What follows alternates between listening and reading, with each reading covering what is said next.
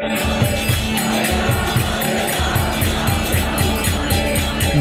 Krishna, Hare Krishna, Krishna Krishna, Hare Hare, Hare Ram, Hare Ram, Ram Ram,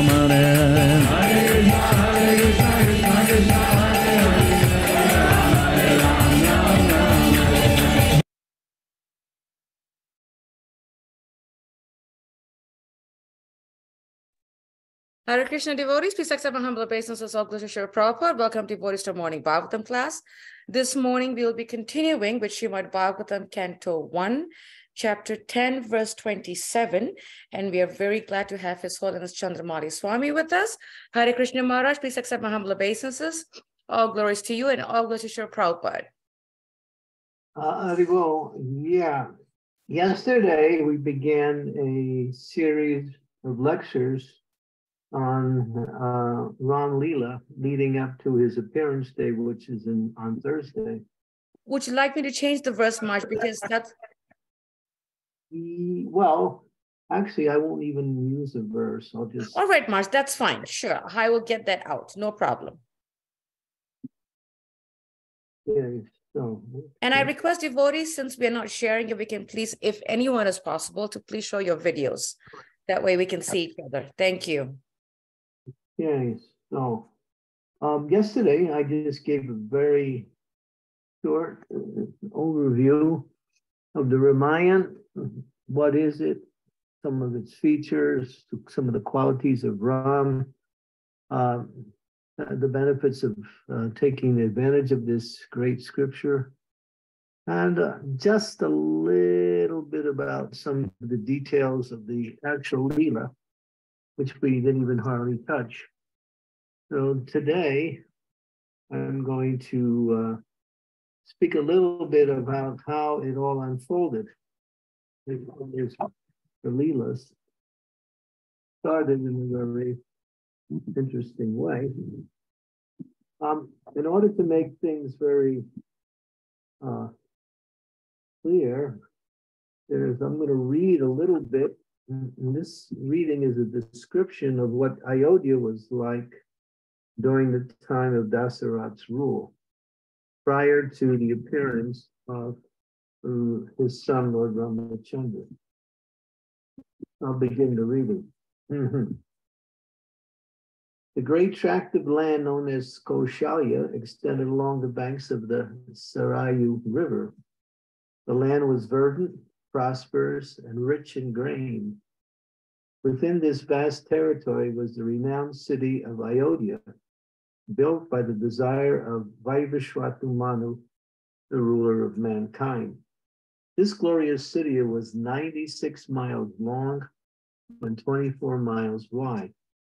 It was well laid out, and its beautiful straight roads were perfumed with scented waters sprayed from the trunks of intoxicated elephants.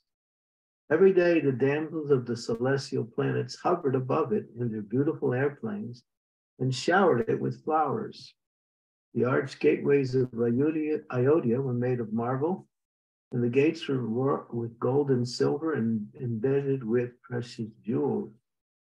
Cannons and catapults, capable of repulsing any enemy, protected the city walls. The marketplaces were well planned, and seven story houses symmetrically lined the streets, adorned with multi-storied palaces and surrounded with exquisite gardens, Ayodhya's resounded with the vibration of musical instruments, rivaling Amravati, the abode of the heavenly king Indra.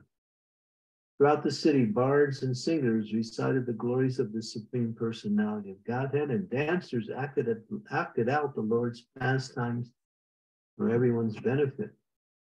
Within Ayodhya, there were many beautiful gardens abounding with flowers and shaded by fruit trees.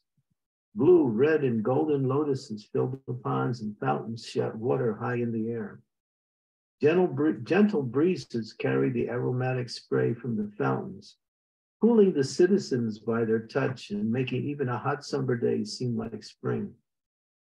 The sounds of cranes and peacocks could be heard everywhere.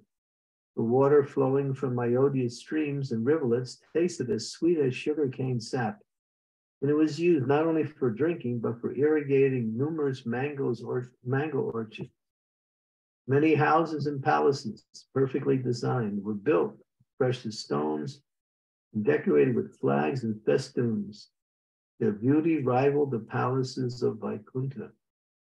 Thousands of warriors protected the great city, skilled archers, well versed in the use of weapons, and chariot fighters who were able to fight with thousands of men at a time. The streets leading into Ayodhya were always filled with travelers. Kings and princes from all over the world came to render their annual tribute and pay respects to the king of Ayodhya. Traders from near and far flocked to the market to barter. Brahmin priests could often be seen pouring ghee into the sacrificial fires and chanting Vedic hymns, proclaiming the glories of Lord Vishnu. Having mastered their senses and devoted themselves to truth, these Brahmins were blessed with all good qualities. Maharaj Dasarat was the emperor of the entire world and was a great Rajarsi, considered almost on the level of a Maharaj, Maharshi. He was a formidable warrior, capable of fighting alone with an unlimited number of opponents because, because he was the citizens, because he and the citizens were completely pious. Ayodhya was the perfect picture of Vedic civilization. Every imaginable opulence was exhibited in perfection, and material miseries coming from the results of sinful activities were practically non existent. In Ayodhya, the four social orders, namely Brahmins, Kshatriyas, Vaishyas, and Sudras, participated cooperatively for the peace and prosperity of the kingdom. No one cheated, no one was miserly. Arrogance, atheism, and harsh behavior and speech were conspicuous by their absence. So I give you a little description of the city of Ayodhya prior to the appearance of Ram. But this whole description leads up to one thing that despite all of this grandiose opulence and auspiciousness, and much devotion to the Supreme Personality of Godhead, Dasarat, the king, was unhappy. And he one day called his ministers together. He had decided, I am unhappy because I don't have an heir to the throne. I'm getting on in age, and I still don't have a son who will succeed and take over the kingdom. Now we understand from, from basic knowledge that for a king to have a, a son is important and essential in order for that prince to become the next ruler. And so Dasarat was, was quite in this despair feeling he had tried everything, but no son would appear. And so he was lamenting. Then he thought, perhaps if I perform a horse sacrifice, a Asvamedha yajna, then maybe that will bring auspiciousness. And maybe by that auspiciousness, the, the gods will be happy and bless me with a son. And so he called his ministers and asked their permission if he should do such a sacrifice. Now, here's a great king who's quite knowledgeable, the leader, and quite worshipful, but still he consults his ministers when in times of need. And so that is also one of the qualities of a great leader when it comes to maybe making important decisions, he always consults his Brahmin class in order for them to give the advice. Now he had an idea. Yes, I will perform an Ashwamedha yajna, which is very auspicious. And uh, therefore, the gods will be pleased with me if it becomes successful, and then perhaps they'll bless me with a you know, and prince. And so he consulted his ministers. They all agreed, yes, my dear king, this is a very good decision. And so then uh, Dasarath became somewhat inspired and happy. Then at one point, right after that, his chariot driver, Sumantra, came to him and said, My dear Dasarath, um, in order for this uh, Asvamedha Yagya to actually occur, you're going to have to bring a very special person who is not in this kingdom in order to, to uh, officiate this sacrifice.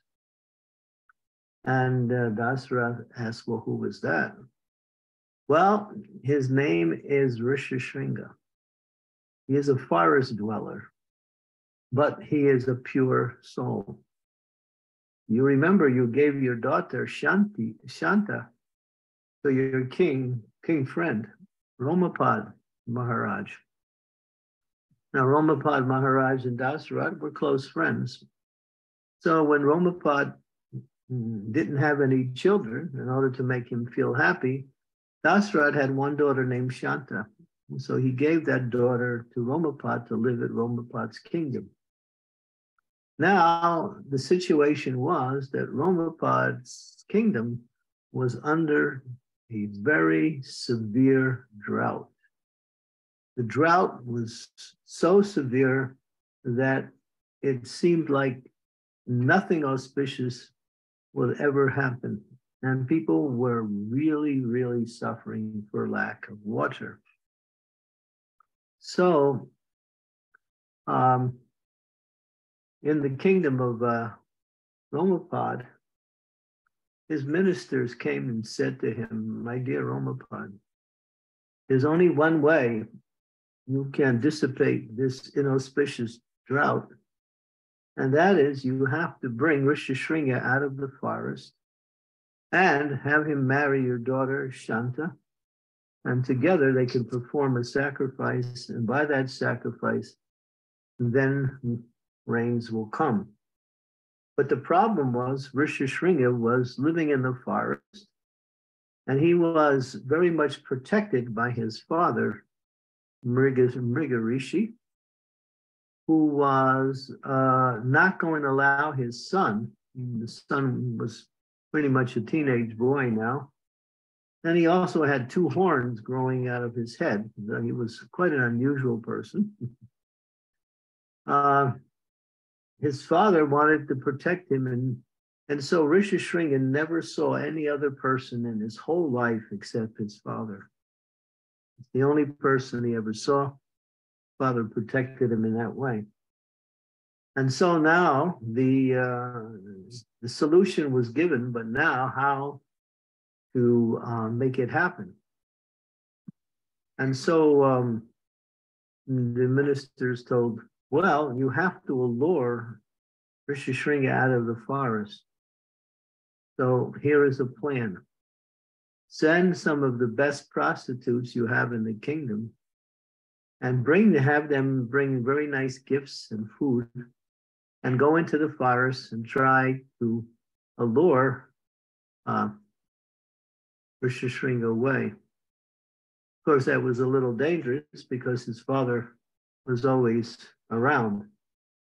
So the plan was made, and the girls left, three girls, and they left. And they had this basket of nice sweets, and they were de- decorated very nicely themselves, and they looked very, very attractive. Now they set up a little camp nearby where Rishi Rishyasringa was living, and they waited his father went to the forest to collect food for uh, for cooking. So at that time, they came, and then uh, they said, "Oh, Rishyasringa, um, uh, we have some nice gifts for you." Now he was thinking, "Who are these persons? I've never seen persons like them before. They look very nice." And they look, they also smell so nicely. What kind of men are these? He had never saw a woman in his life, so he never knew what a woman looked like. And so they started to speak very sweetly, sing songs to him, and give him nice uh, flowers, and sweets. And the boy was starting to become very much attracted to it. And then uh, he was very happy to meet these persons. And then the girls were wondering, we can't take too long because if his father comes back and he, we get caught, it'll be, it'll ruin the whole thing. So they decided to leave. Now, Rishyasringa really enjoyed the company of these persons, but he couldn't understand who they were. What kind of men were these? So these girls, before they left, they each embraced him very nicely and they left. Now they left, and then now Rishyasringa, his mind was somewhat changed being a very staunch brahmachari living in the forest, never seeing a girl in his life performing austerities, and living simply on roots and fruits and whatever his father could collect. Now his mind was was feeling a little sensual and disturbed. He couldn't understand what it was that was disturbing him in that way. But and then he, but, but at the same time, he felt such a strong attraction for those girls. So those girls had set up their camp not so far from his ashram. So the next day, his father went out again. This time he left and went to find the girls. Of course, they were nearby. And they said, Oh, where should you have come. We want to take you to where we live. So he came and they brought him to the kingdom of Romapad. At that time, the boy was completely changed. His, his feelings of sensuality, his feelings of attraction for the opposite sex were very strong. At that time, Romapad Swami came and spoke to him and said, uh, My dear Rishyasringa, I have a beautiful girl for you to marry. She's my daughter. Please accept hand, her hand in marriage. Immediately, Rishyasringa did, and there was a marriage between Shanta and Rishyasringa. Right after that, he performed a sacrifice, and by that sacrifice, the rains came. In fact, even before the sacrifice began, there was signs of rain everywhere. Because Indra was very pleased, and then he decided to shower rain because Rishyasringa was such a, a staunch uh, devotee that by that by his appearance in the kingdom brought about auspiciousness. Now Sumantra is telling, you know, Dasarat about this Rishyasringa. He said, if you want to uh, perform this uh, Asvamedha Yagya, you have to bring Rishyasringa along with your daughter. And so uh, Dasarat went to the kingdom of Romapad and explained the situation. Romapad was happy and said, yes.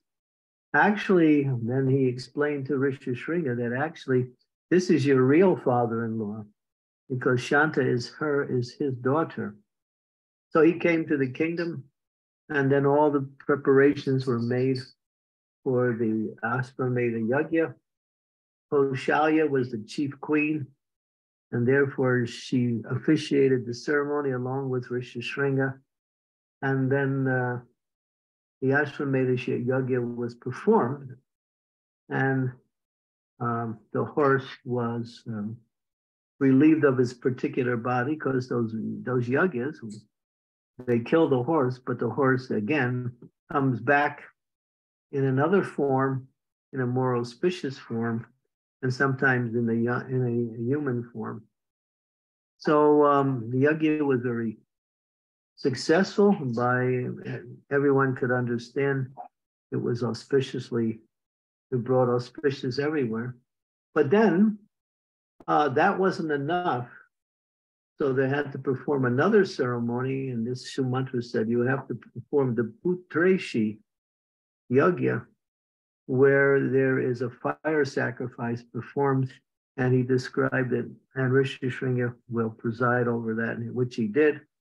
And when that Putreshti ceremony was performed, there was a, uh, out of the fire, out of the, out of the sacrificial fire, uh, uh,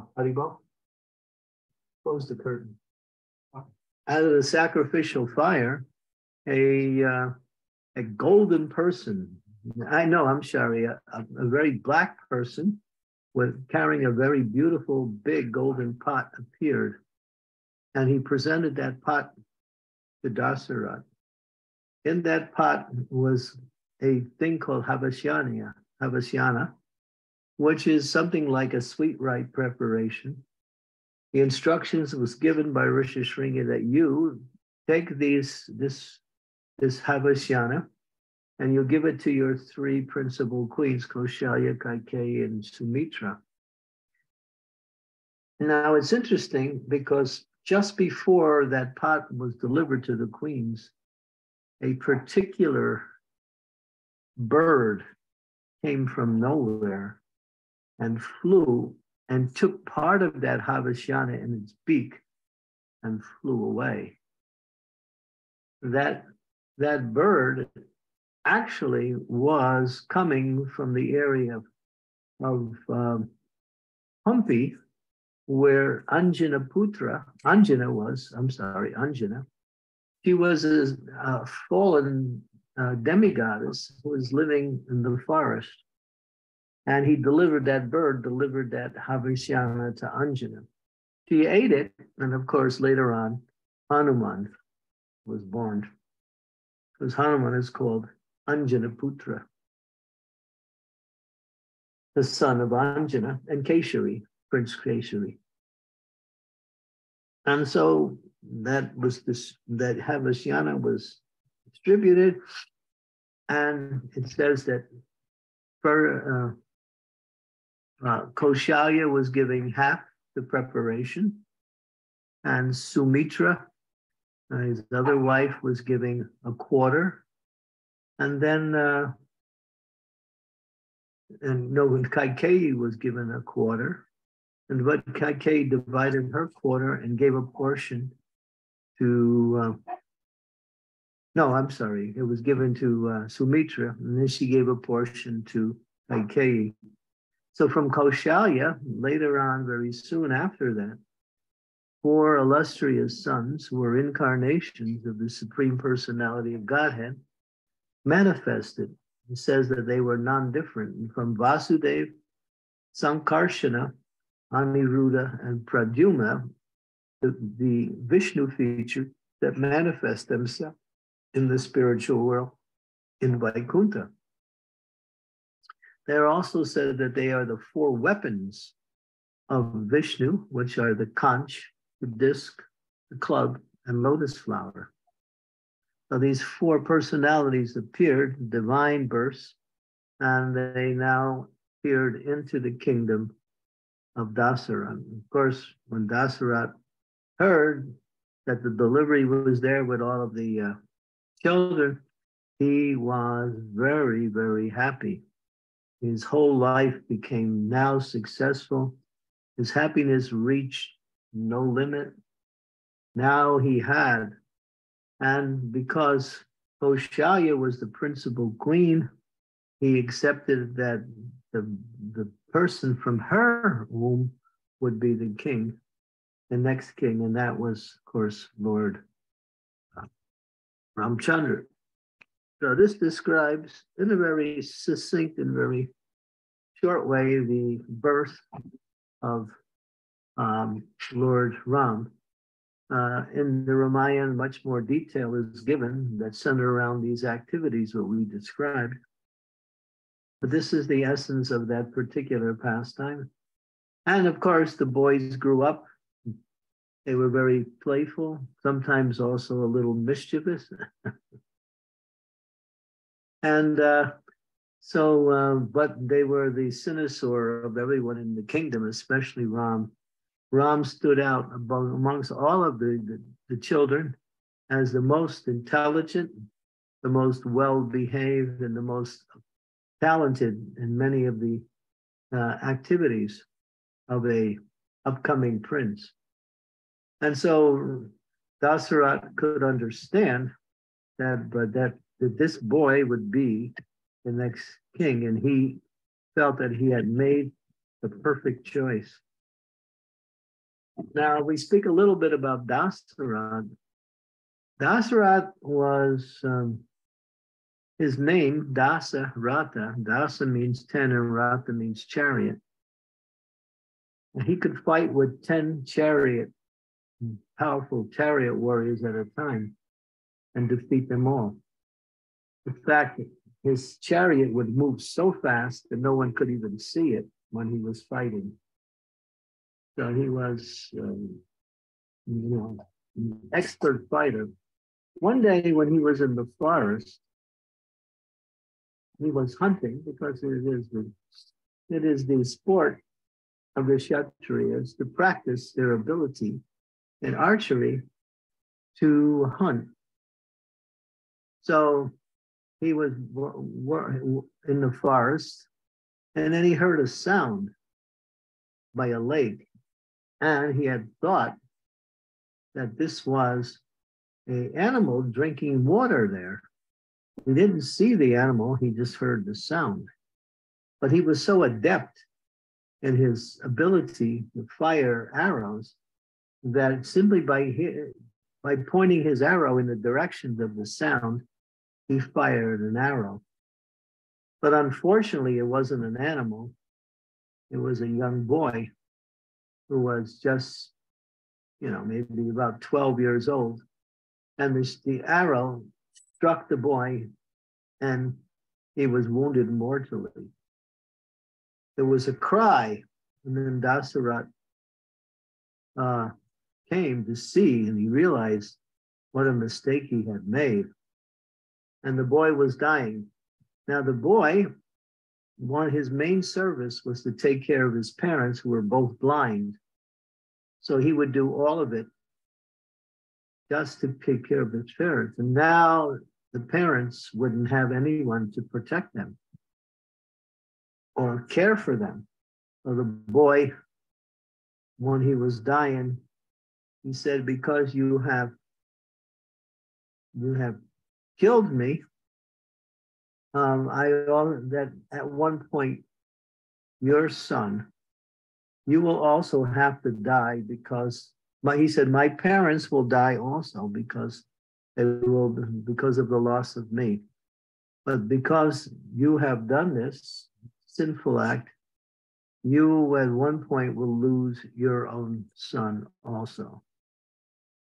And so he cursed him Of course, that curse came true when Ram was banished in the forest for 14 years, and Dasarat suffered so much during that separation that he could no longer live and he left his body, so that curse took effect. the boy was a Brahmin. And so when a Brahmin gives a curse, we also have the story of Shringi who cursed Maharaj Parikshit when apparently Maharaj Parikshit had apparently uh, made some uh, wrong activity toward Shringi's father, Shamik Rishi, by placing a dead snake around the, the Rishi's body when the Rishi didn't respond to the king's desire for water. So that boy was only 12 years old. So you see, Brahmins, especially in those days, they had they had the power to curse, or they had the power to give a benediction. So people would seek out very carefully the favor of the Brahmins. Because if the Brahmins gave a benediction, if the Brahmins gave something, said something, it would actually come true. Because a Brahmin is one who lives simply for glorification and service of the Supreme Personality Godhead and to give guidance for the population in general. Says in the days of days of Vedic culture, the Brahmins would tour around, going to people's houses. People would welcome in the Brahmins. The Brahmins would be given some water and some food. And then they would, being pleased with the hospitality of the Grihasta family, they would give blessings for either a new child, auspiciousness in the home, or they would also um, speak of, in an astrological way, talking about the future of the family, like that. And of course, if there was some medicine that was needed, they would also give medicine. So they would give knowledge, they would give uh, medical care or medical advice and astrological advice.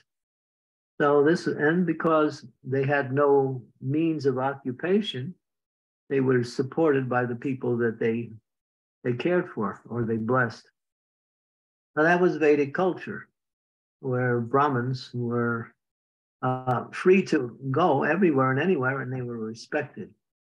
Of course, nowadays the whole Brahminical culture has been lost. There are some Brahmins, some in places, different places in the world, still today, who are actually real Brahmins, but because of the effects of Kali Yuga, the Brahmin class has gone down and has taken the occupation of the Kshatriyas or even of the Vaishyas in order to maintain themselves. And because society no longer even respects the Brahminical culture, of course, in some places they still do. It depends where you go. Places within India or similar areas of the world where Vedic culture is still very strong. But mostly it's all gone because of the effects of Kali Yuga which deteriorates, as it says in the Bhagavatam, um, all of the good qualities of the living entities in this age. In this age, people don't have hardly any good qualities. And if they have any good qualities, it is usually due to the family they were born in. But or it's due to their ac- activities and devotion to the Lord. And so it's a very difficult age. And so it's hard to find a real Brahmin, an actual Brahmin. Prabhupada started the Hare Krishna movement, and his whole program was to create a class of Brahmins. So he trained his devotees in that way, in Brahminical qualities, in Brahminical activities, such as worshiping the deity, such as uh, uh, performing various sacrifices and also preaching the glories of the Lord. So Prabhupada trained very carefully and very, what we say, uh, tirelessly his devotees in some of the in the culture. But of course, some of us came up to the standard, some of us didn't. But Prabhupada's whole idea was to first establish a Brahminical class by which the society could develop. Once the Brahmins are there, cow protection is also a feature, and God consciousness is the main activity of the, the living entities.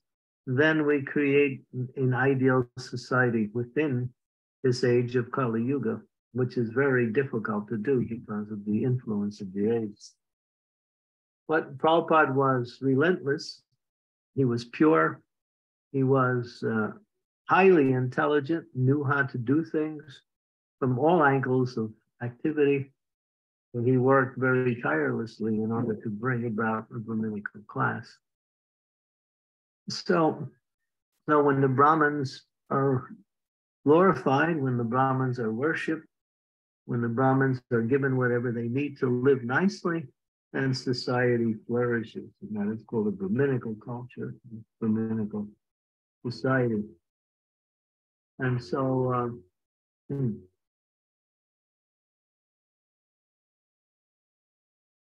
yeah. Uh, right.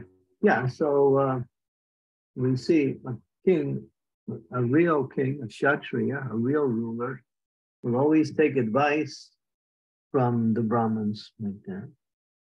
We have the example within the Ramayana of uh, of Ravana. Ravana, we were talking a little bit about Ravana yesterday, his birth and the family of uh, of uh, the uh, sage Vishrava and his wife Vedashri, Vedashi, um, and how he was born. And but no, Ravana was highly intelligent. He also knew the Vedas but he was a demon. he used Vedic knowledge to propagate his own selfish and demoniac programs. But one of the things as a leader, a powerful leader who had amassed a large kingdom with great amounts of wealth and followers, he would also go to his ministers for advice. And if he liked the advice, he would take it. If he didn't like the advice, he wouldn't take it. Leave it on for him. So you see, um, there are actually three types of choices a Kshatriya has when it comes for advice. One is they go to the Brahmins, ask for advice, and accept whatever they say. Ravana was not in that category. Two is that the Kshatriya goes to the Brahmanas, asks for advice, and he takes it if he likes it. In other words, he'll like he'll get advice, and if he thinks the advice is very good, he takes it. And then there's the third class who doesn't go and ask anyone, simply carries out his his his um, administrative affairs without any consultation with the Brahmanical class. So Ravana was the second class. Hmm. And many times, of course, we'll just fast forward a little by mentioning how when he uh, had captured Sita, hmm, the Brahmanas, many of his advisors, especially his own brother, uh, was giving advice. You know, you have everything. You don't. Why you have Why you want this woman here? She's going to be the, the the destruction of your whole kingdom. So just give her back and live happily. You got everything. You got power. You got wealth. You got followers. You got reputation. You got many queens already. Why couldn't Why couldn't Ravana hear all that? We'll make one point. While Krishna speaks in the Bhagavad Gita, what is that? He says it is lust and lust only that comes in contact with the material motive passion, which and later is transformed into wrath, which is the all-devourer enemy of this material world. So it's this lust. In, in the Bhagavad Gita, there is a caricature of lust as a burning fire. So lust is like that. It can never be satisfied. The more one tries to fulfill the, or satisfy one's lusty desires, the stronger the lust gets. The analogy is given that if you take wood and you throw it onto the fire, just by placing it on the fire, the fire will go down for a little while because of the wood being placed. And but give it some time, and then the fire will, the wood will catch, and the fire will blaze even more. So fulfilling lust is like that. When we first try to fulfill it, what happens is the desire or that feeling of lusty desires goes down because there's some fulfillment. But give it some few minutes, few moments soon, because uh, you cannot satisfy uh, one's desires by fulfilling one's desires. You can satisfy your, your desires, all material desires, that is, only by going to spiritual desires or giving up material desires and taking on higher, more desires in the mode of goodness. Mm-hmm. So uh, Ravana could not understand that because he was laced, he was honeycombed with lusty desires. And therefore, he had fixed his mind on the concert of the Supreme Personality of Godhead, and he was, he was unchangeable. But because of that, he lost everything, including his life. so it's a great story. This this Ramayan. We'll speak about it. There's hundreds of different messages that we can learn from hearing about the Ramayan.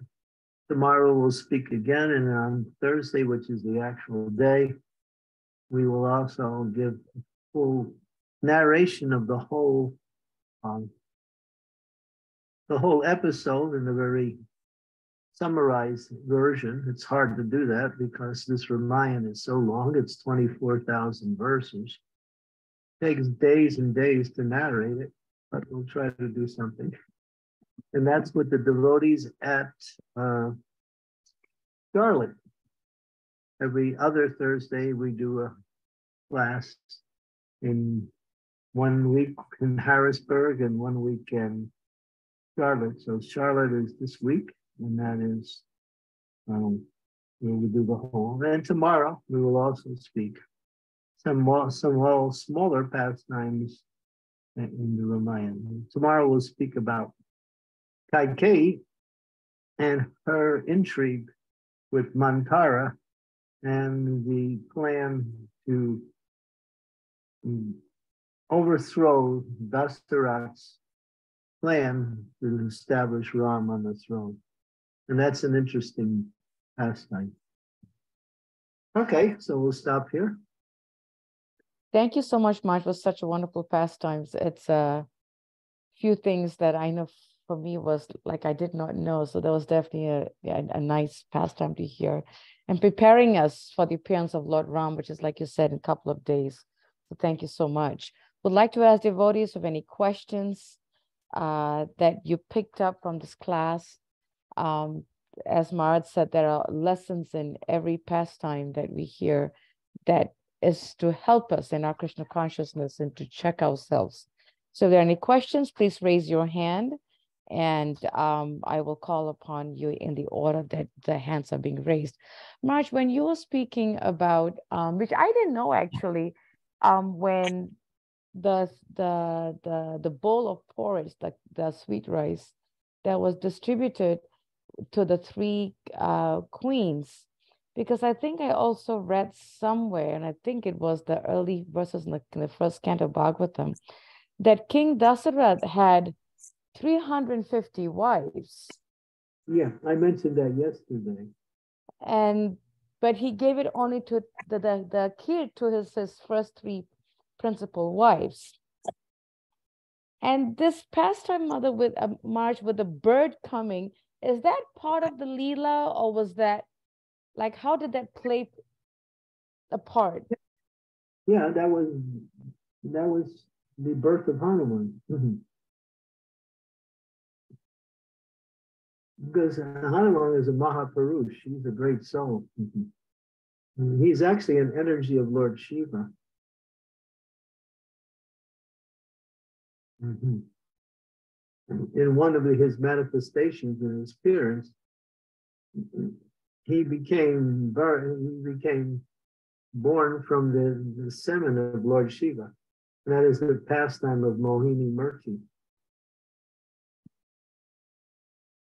So Hanuman appears each time when Ram appears. So, so that manifestations of this pastime have a slightly different uh, angle or slightly different unfolding as they happen each time.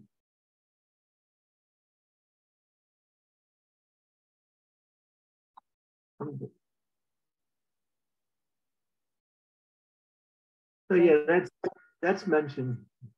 Not too many places about that bird. Yes, I've never heard that, Mark, and I was, it, it caught my attention. Never heard that. Yeah, obviously, was arranged in that way by higher powers. Thank you, Maharaj, for shedding some light on that. Thank you. Yes, Mother Scarlet, go ahead. Hare Krishna, please accept my humble obeisances. All glories to Srila Prabhupada, all glories to your holiness, and all glories to all uh, the devotees. Um, I studied something uh, in, in connection to uh, Ram's uh, uh, appearance day uh, that makes me wonder how is possible for us to practice that.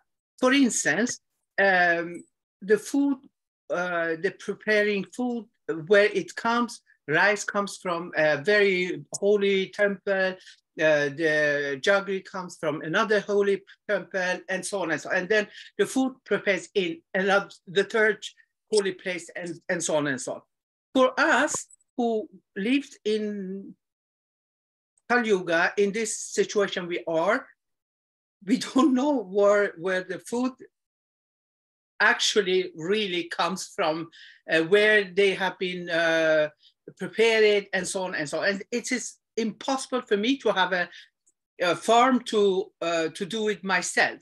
So how how can we do for for us to be somewhat protected? Even uh, I understand that pressure Prashadam uh, of the temple, even the food uh, that prepares in in uh, temple is coming from some uh, this store that I go and buy the food.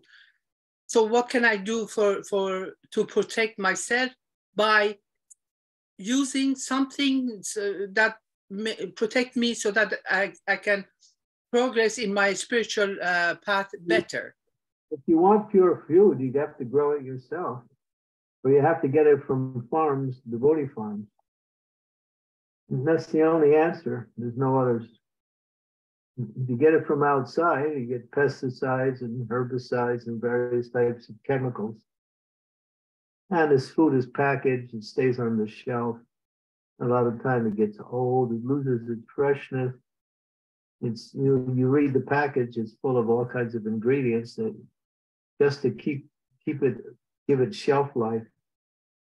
So you don't uh, so if you really want pure food, you got to grow it yourself. There's no other no other no other choice.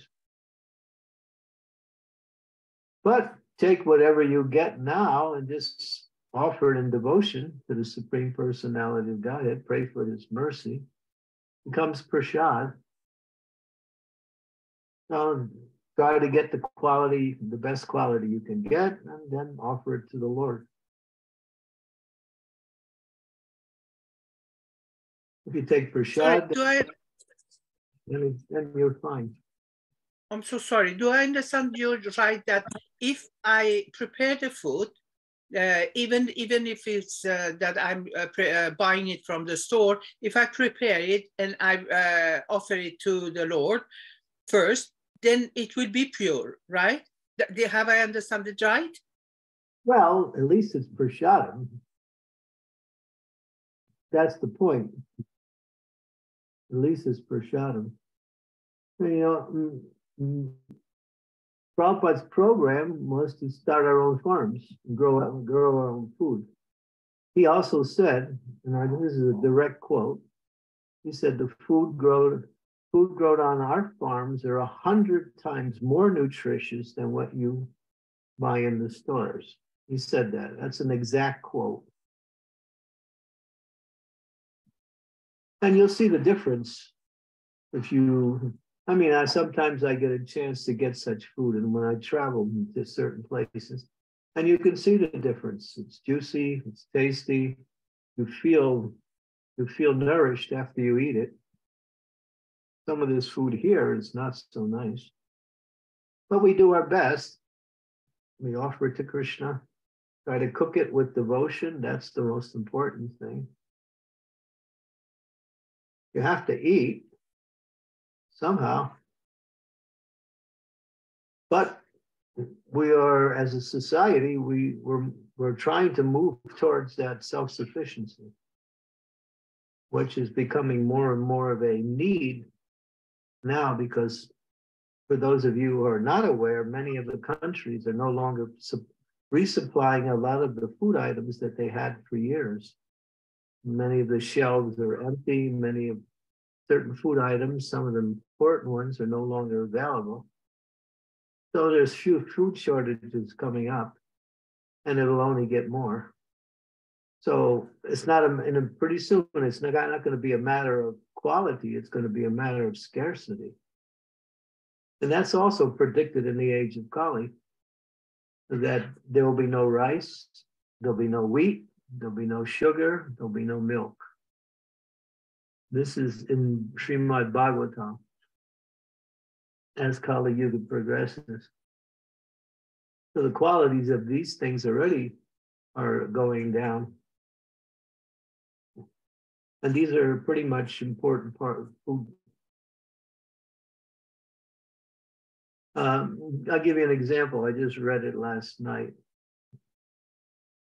For instance, um, devotees were you know, offering true food to Prabhupada. They were talking about rice. So rice, and then one one, one someone came up with the subject matter of brown rice. And Prabhupada immediately said, brown rice is for animals. That's what he said. Brown rice is for animals.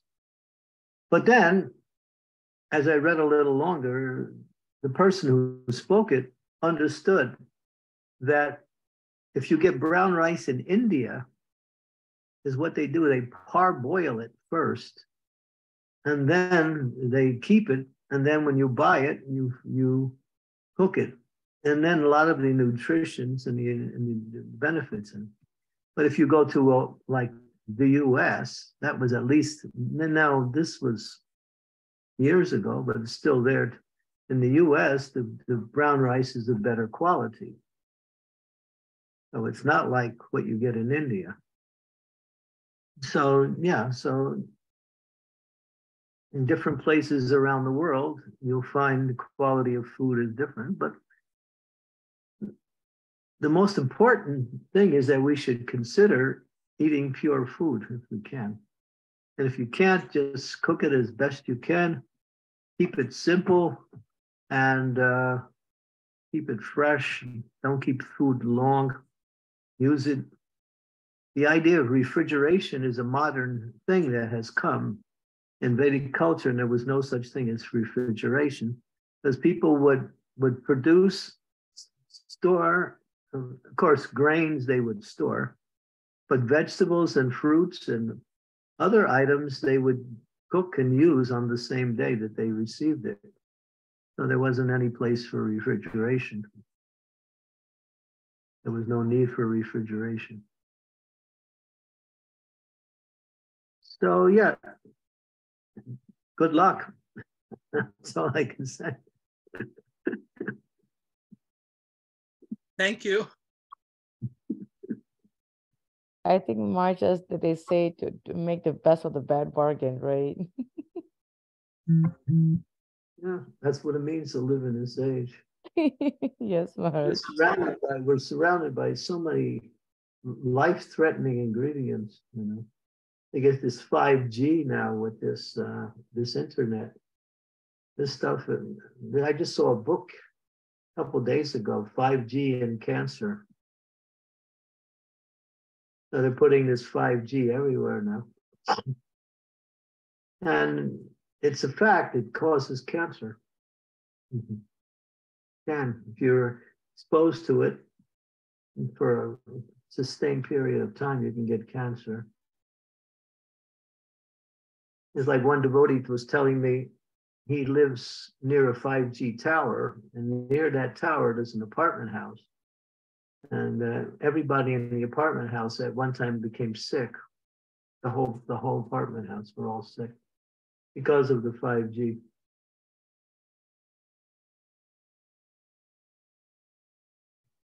So this whole civilization is out. It's simply meant to kill you. That's all. That's why Prabhupada said we have to develop our own society, farms, build these farms.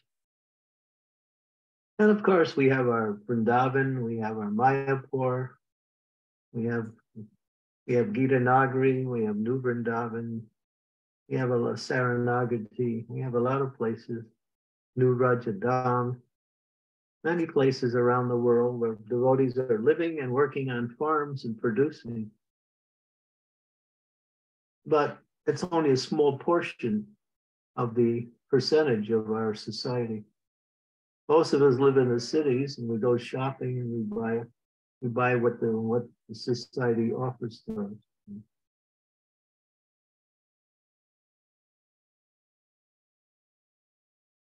Thank you, Maharaj. Any other questions from devotees? Any questions that's coming in your mind, please do raise your hand and um, ask. I, I, I know, excuse me, I think I see some questions in the mind trying to formulate to come out. Maharaj, we've we've seen and we've heard few uh, renditions of Ramayan within ISKCON. Which one, Maharaj, is the most bona fide or to the scriptures that I the one that I know that's very very old. I don't know if it still exists. Is by Krishna Dharmadas, but and I've also read about one by Purnapakna, uh, Purnapakna Das. But is there anything that's Oh, better than that, Maharaj? That's really done. Uh, yeah, the one I like is the one by Shubha Vilas.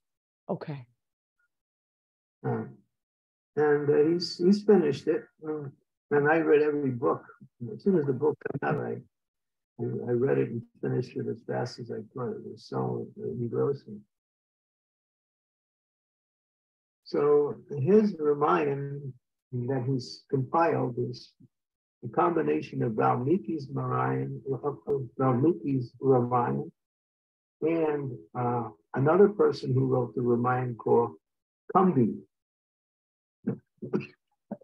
Kambi was from the Sri Sampradaya, and he wrote a version of the Ramayan also. When he wrote it, uh, it was questionable amongst his peers.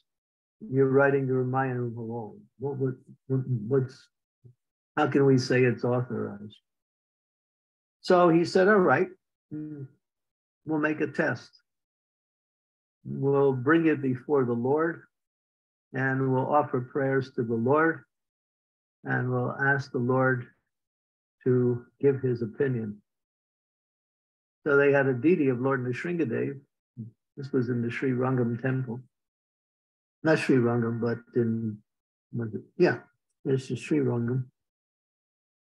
And it's a big compound, there's many, many deities there. So they brought the Ramayan in front of the deities, they all prayed. And uh, Mm. one point, Lord Nrsingadev, he was sitting in a yoga position, he was Yoga Nrsinga, and he threw his arm up in the air. So the deity actually moved and he placed his arm straight up in the air giving sanction that this Ramayan is bona fide. so then it was accepted in that way.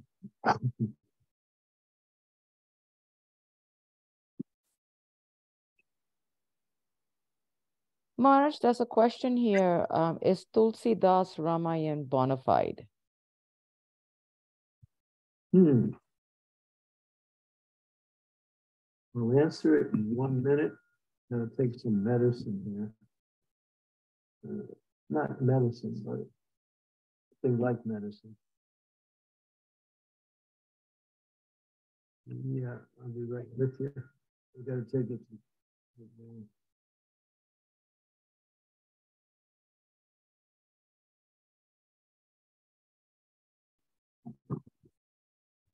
Oh, is Tulsidas Ramayan bona fide? Well, as far as literary embellishment and poetic expression, it's the most beautiful Ramayana. Especially if you read Sita, Sita's marriage, really amazing. But Prabhupada says that in the Tulsi Ramayana, there are some aspects of impersonalism that he includes within the So it has tinges of impersonalism in, in it. So therefore, generally we stick to Valmiki's mind.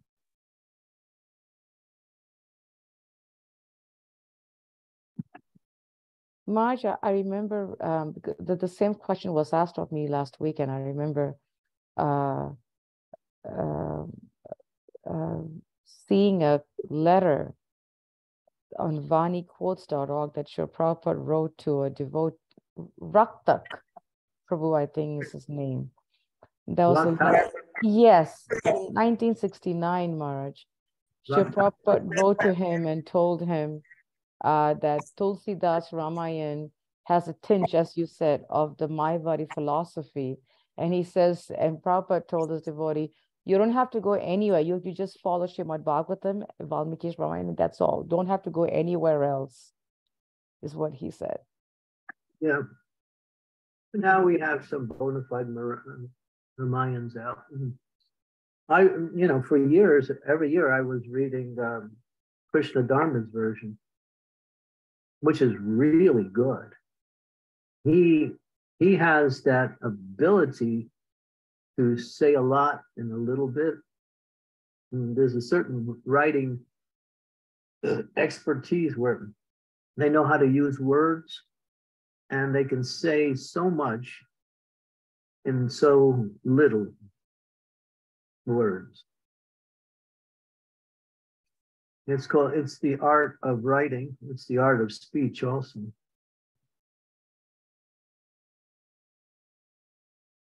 So his Ramayan is a favorite. And it's the one I was reading every year. Now I read, now I have another one I came across, which is the verses of the Ramayan. This is done by Vidva, Vidvan Gauranga from uh, from uh, Mayapur. He lives in Mayapur. I just saw him when I was there, and he gave me some of the later editions of his work. He's done it kanda by kanda, using verse by verse with purports. It is really, it's a deluxe set. You know, there's going to be about maybe 30 books in the whole Ramayana. So beautiful. And he's, you know, he's really, really qualified to do the work.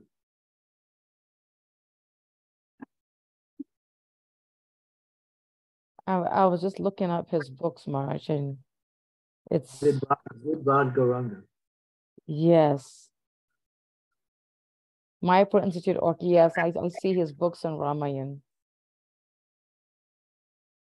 That's the one I'm gonna try to tackle next.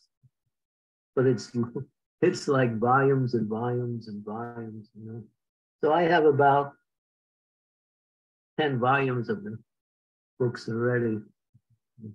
And each volume is like 300 pages or more.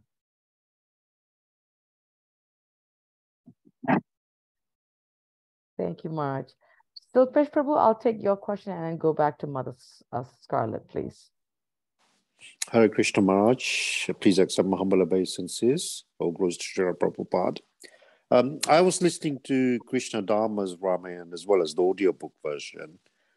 And I wanted to ask, like, from the Sanskrit verses to how he's made it into a sto- story form, what gives a person the ability or authority to do that? Like, you have the Sanskrit verses and then you made a much bigger kind of story out of it. Guru. Only by come comes with blessings of the guru. Otherwise, yeah. No, it says no one can write transcendental literature unless they are empowered by the Lord.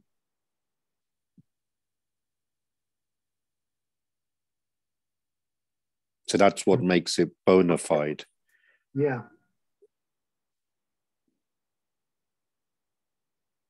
Well, that, that gives them the uh, the the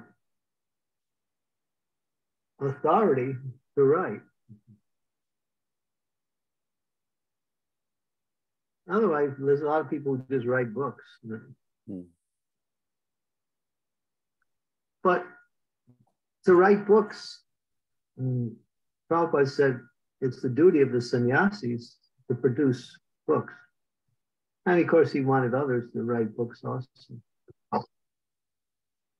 But he says that the, our tradition is that we write books on the books that have already been written. In other words, uh, the Goswamis took the teachings of Lord Chaitanya and wrote all of their books, especially on the Shikshashtaka prayers. They expanded the Shikshashtaka prayers into all of their writings. And uh, Prabhupada said, yeah, my disciples should write books on my books. So, yeah. So, in other words, explaining even from different angles of vision what Prabhupada has said. And that is that is uh, that is our tradition, and that is our our pro, way for proliferation of the knowledge for different types of people. So you got for for instance, you have Krishna Dharma. Again, he's doing the Bhagavatam in story form, which is really good. Uh, he asked me to do the introduction or the, the forward for the seventh canto. I did. Um, and they, uh, so he's using what is called, uh, what's the word? It's called um, writer's leadway or something. I forgot the word. It's a technical term, which means taking taking ex, using extra information that is not part of the story to support the story. What is it called? Sridhar posted poetic license. Yeah, poetic license. Yeah. Yeah, so Krishna Dharma has done that with the Bhagavatam. Quite, it's quite nice. You can get copies on Amazon. Or since you're in, in London, you may be able to find it in Bhaktivedanta Manor.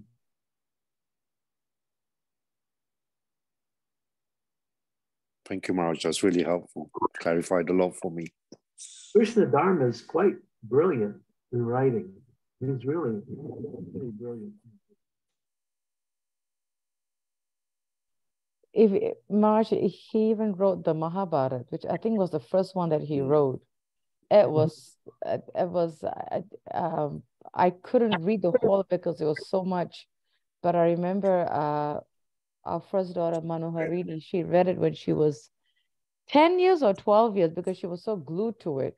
And it was, she was telling us stories from it as she was reading it. it was such an amazing book. Yeah, he knows how to write in such a way that it captures your attention. Absolutely. I haven't read that one. That I put that on my list, but I haven't read that one. Yeah, Brinda read that. That that was the first book I think she read was the Mahabharata by Krishna Dharmodas. She wanted it so bad. That's a good one. Yeah, he's all. Our Swami read it and he was he was glorifying it. You you were saying something, Silpesh? And I was just saying um, I've got his audiobook version of it. It's like 35 hours long. Wow. Read, read by himself. So it's nice to listen to at bedtime. yeah. I didn't know that he had an audiobook. Oh, that's good yeah, to know. Yeah, they're all available on uh, Amazon and Audible. Okay, good to know. Yeah, yeah I think he's Mahabharats as well. Uh, sorry, not Mahabharats, Bhagavatam as well. Oh, good. Good to know. He's a Ramayan too, also. Yeah. I learned something new today. Those yes, you, mother, sorry, Marge yeah, those of you who like to hear, who find it difficult to read, then audiobooks are there. Thank you, Marge. Uh, Mother Scarlett, go ahead. Yes, uh, I have uh, two uh, questions. One is very, very little, and one is more uh, scribing first and then the question. The first one is, how about uh, Valmiki Ramayana. Is it okay to read that? Uh, Valmiki Ramayana, uh, who is, I, I believe, as I read it, I don't remember, I'm not very 100% sure, but he must be one, the first one who has ruled by blessing of uh, Brahma. I think, I'm not sure, but I think. Anyway, its name, uh, the name is Valmiki Ramayana. I wonder if it's okay to read that. Uh, the next question is, uh, there there are everything what happened uh, like uh, for uh, for uh, uh, uh, for to to make our own food and so on and so on.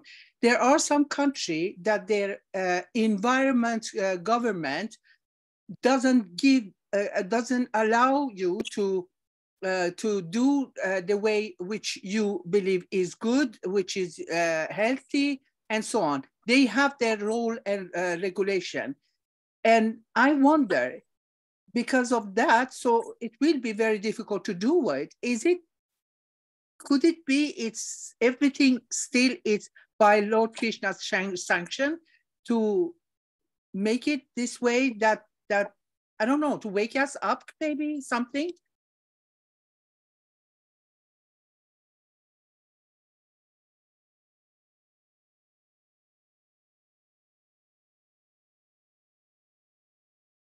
Marsh stepped away from his desk. He will come back, Mataji. I understand. It's okay. Fine. Uh, Valmiki Ramayan is the authorized version of Ramayan, and so you can read that.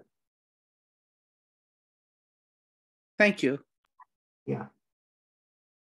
Okay, any other questions?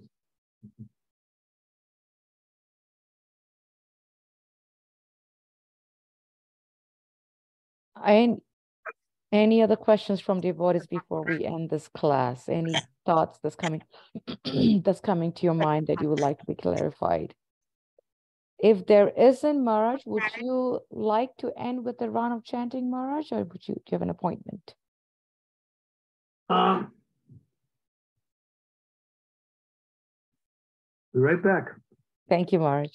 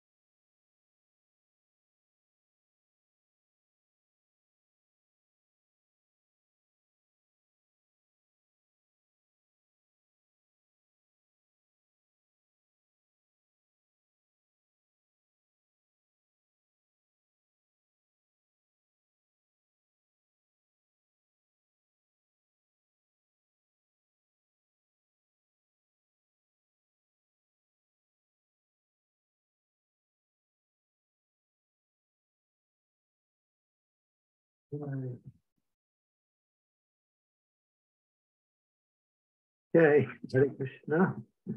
Bilpesh Prabhu, do you have a question, Prabhu? Could please go ahead. Uh, yes, Mar. Sorry, I just wanted to ask uh, is it true that Sita Devi stayed with Valmiki in his ashram, and that's how he knew the story of Ramayan? Um, it's true that, yeah, she gave birth in his ashram to her the two sons. And um, the second part sounds right, but I'm not sure if it is. Um, that's a good point. You'd have to investigate farther.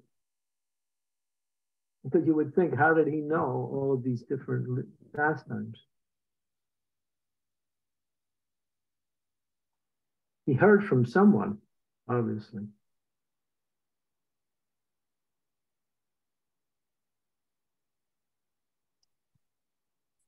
Okay. Jai Thank you, Maharaj. Uh, thank you. Jai Sri Krishna Chaitanya Prabhu Nityananda, Sri Advaita Gadadhar, Srivasadi Gaur Bhaktivinoda, Hare Krishna, Hare Krishna, Krishna Krishna, Hare Hare, Hare Rama, Hare Rama, Rama Rama, Hare Hare. Hare Krishna, Hare Krishna, Krishna Krishna, Hare Hare. Hare Rama, Hare Rama, Rama Rama, Hare Hare, Hare Krishna, Hare Krishna, Krishna Krishna, Hare Hare. Hare Rama, Hare Rama, Rama Rama, Hare Hare. Hare Krishna, Hare Krishna, Krishna Krishna, Hare Hare. Hare Rama, Hare Rama, Rama Rama, Hare Hare, Hare Krishna, Hare Krishna, Krishna Krishna, Hare Hare. Hare Rama, Hare Rama, Rama Rama, Hare Hare, Hare Krishna, Hare Krishna, Krishna Krishna, Hare Hare. Hare Rama, Hare Rama, Rama Rama, Hare Hare, Hare Krishna, Hare Krishna, Krishna Hare Hare. Hare Rama, Hare Rama, Rama Rama, Hare Hare, Hare Krishna, Hare Krishna, Krishna Krishna, Hare Hare. Hare Rama, Hare Rama, Rama Rama, Hare Hare Krishna, Krishna, Krishna Hare Hare. Hare Ram, Hare Ram, Ram Ram, Hare Hare, Hare Krishna, Hare Krishna, Krishna Krishna, Hare Hare. Hare Rama, Hare Rama, Rama Rama, Hare Hare. Hare Krishna, Hare Krishna, Krishna Krishna, Hare Hare. Hare Rama, Hare Rama, Hare Krishna, Hare Krishna, Krishna Hare Hare. Hare Rama, Hare Rama, Rama Rama, Hare Hare. Hare Krishna, Hare Krishna, Krishna Hare Hare, Hare Rama, Hare Rama, Hare Krishna, Krishna Hare Hare. Hare Rama, Hare Rama, Hare Krishna, Hare Krishna, Krishna Hare Hare. Hare Rama, Hare Rama, Rama Rama, Hare Hare. Hare Krishna, Hare Krishna, Krishna Krishna, Krishna Hare Hare. Hare Hare, Hare Rama, Hare Rama, Hare Krishna, Hare Krishna, Krishna Hare Hare. Hare Rama, Hare Rama, Hare Krishna, Hare Krishna, Krishna Hare Hare. Hare Rama, Hare Rama, Hare Krishna, Hare Krishna, Krishna Hare Hare. Hare Rama, Hare Rama, Hare Hare, Hare Krishna, Hare Krishna, Krishna Hare Hare. Hare Rama, Hare Rama, Rama Rama, Hare Hare, Hare Krishna, Hare Krishna, Krishna Krishna Hare Hare. Hare Rama, Hare Rama, Hare Krishna, Hare Krishna, Krishna Krishna Hare Hare. Hare Rama, Hare Rama, Rama Rama, Hare Hare Krishna, Krishna Krishna Hare Hare.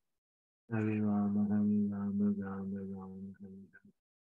Hare Krishna, Hare Krishna, Krishna Krishna, Hare Hare. Hare Rama, Hare Rama, Rama Rama. Hare Krishna, Hare Krishna, Krishna Krishna. Hare Rama, Rama, Hare Hare, Hare Krishna, Hare Krishna, Krishna Hare Hare. Hare Rama, Rama, Hare Krishna, Hare Krishna, Krishna, Hare Hare. Hare Hare Hare Rama Hare Rama Hare Krishna Hare Krishna Krishna Hare Hare Hare Rama Hare Rama Hare Krishna Hare Krishna Krishna Hare Hare Hare Rama Hare Rama Hare Krishna Hare Krishna Krishna Hare Hare Hare Rama Hare Rama Hare Krishna Hare Krishna Krishna Hare Hare Hare Rama Hare Rama Hare Krishna Krishna Hare Hare Hare Rama Hare Rama Hare Krishna Hare Krishna Krishna Hare Hare Hare Rama, Hare Rama, Rama Rama, Hare Hare. Hare Krishna, Hare Krishna, Krishna Krishna, Hare Hare. Hare Rama, Hare Rama, Rama Rama, Hare Hare. Hare Krishna, Hare Krishna, Krishna Hare Hare. Hare Rama, Hare Rama, Hare Krishna, Hare Krishna, Hare Hare. Hare Rama, Hare Rama, Hare Krishna, Hare Krishna, Hare Hare. Hare Rama, Hare Rama, Hare Krishna, Hare Krishna. Hare Krishna, Hare Krishna, Krishna Krishna, Hare Hare. Hare Krishna, Hare Krishna, Krishna Krishna, Hare Hare. Hare Rama, Hare Krishna, Hare Krishna, Krishna Hare Hare. Hare Rama, Hare Krishna, Hare Krishna, Krishna Hare Hare. Hare Rama, Hare Krishna, Hare Krishna, Krishna Hare Hare. Krishna Krishna Hare Hare. Hare Hare Hare Hare Hare Krishna Hare Krishna Krishna Hare Hare.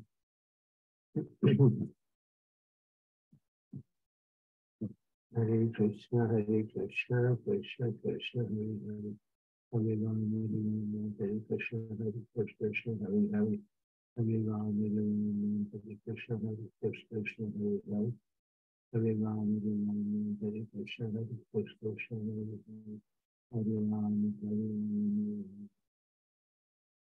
Thank you, Krishna, Hare Krishna, Hare Hare. Hare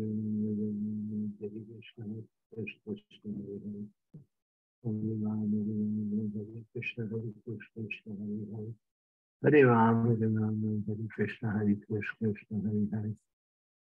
Hare Rama, Hare Rama, Hare Krishna, Hare Krishna, Hare Hare. Hare Rama, Hare Rama, Hare Krishna, Hare Krishna, Hare Hare. Hare Rama, Hare Rama, Hare Krishna, Hare Krishna, Hare Hare. Hare Rama, Hare Rama, Hare Krishna, Hare Krishna. Hare Rama, Hare Hare Krishna, Krishna, Krishna, Hare Hare. Hare Hare Rama, Hare Krishna, Hare Krishna, Krishna, Hare Hare. Hare Rama, Hare Rama, Jesus, Hare Krishna, Krishna, Hare Hare.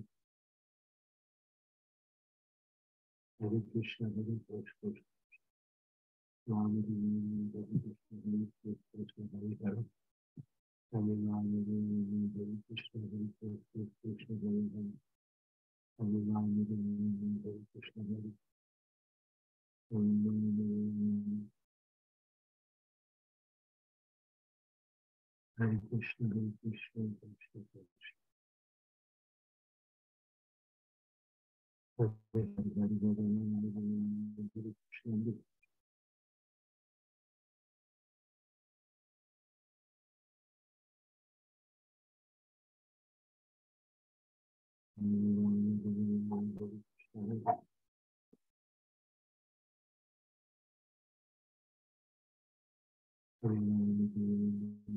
Hare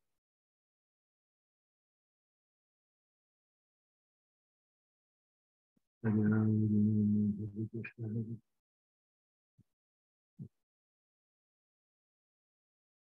Krishna, Hare Krishna, Krishna, Krishna Hare Hare. Hare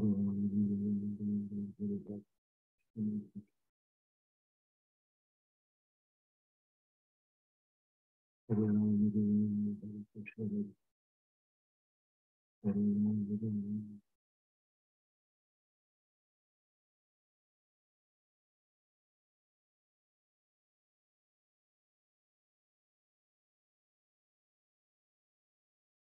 Krishna, Hare Hare Rama, Hare Rama. Krishna, Hare Krishna, Krishna Krishna, Hare Hare. Hare Rama, Hare Rama, Hare Krishna, Hare Krishna, Krishna Hare Hare.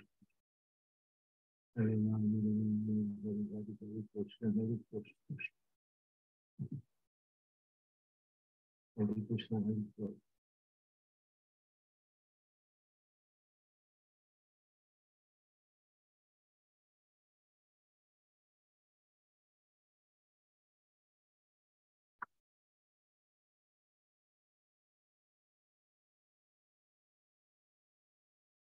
Hare Hare, Hare Krishna, Hare Krishna. Hare Krishna, Hare Krishna.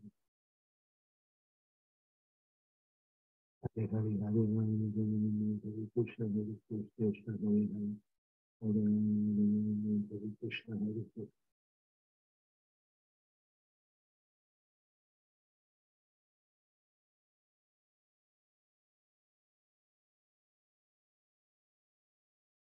Hare Hare,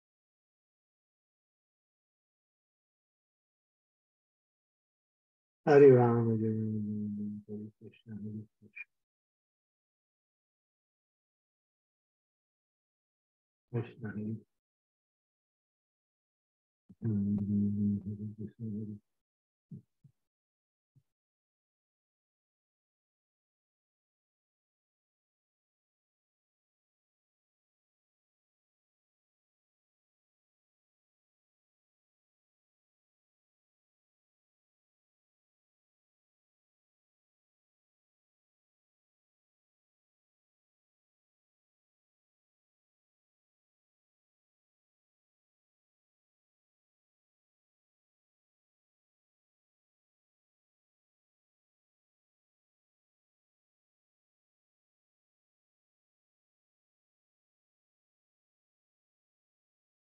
Hare Krishna, Hare Krishna. Hare Hare Hare Krishna, Hare Krishna.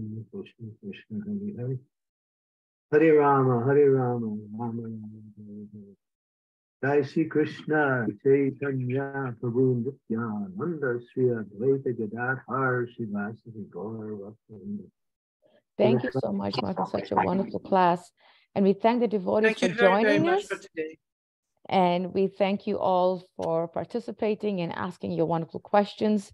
Vanchakaptibhyascha, kripasindabevacha, patitanam pavanebhyo, vaishnavebhyo namo namaha, Srila Prabhupada ki jai. Jai. Holiness Candramauli Swami ki jai. Jai.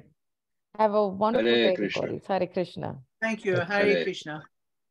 Thank you, Guru Krishna, Hare Krishna, Hare Krishna, Hare Krishna, Hare Krishna, Hare Hare.